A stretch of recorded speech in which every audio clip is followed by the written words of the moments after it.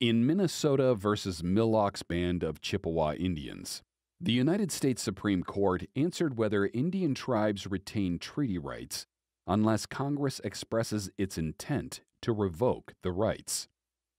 In an 1837 treaty, several bands of Chippewa Indians, including the Mille Band, agreed to cede Chippewa lands in present day Wisconsin and Minnesota to the United States. As part of the treaty, the United States guaranteed that the Chippewa would retain rights, known as usufructuary rights, to hunt, fish, and gather rice on the ceded lands. In an 1850 executive order, President Zachary Taylor ordered the removal of the Chippewa from the ceded lands and revoked the Chippewas' usufructuary rights.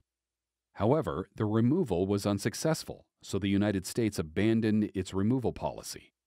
In a new treaty in 1855, the Chippewa agreed to sell their remaining land to the United States and give up their rights and title to the land. The 1855 treaty was silent regarding the Mille Band's usufructuary rights. In 1858, Minnesota became a state. In 1990, the Mille Band filed suit against the state of Minnesota. The Mille Band sought a declaratory judgment that it retained the usufructuary rights granted in the 1837 treaty. The Mille Band also sought an injunction to prevent Minnesota from interfering with its usufructuary rights.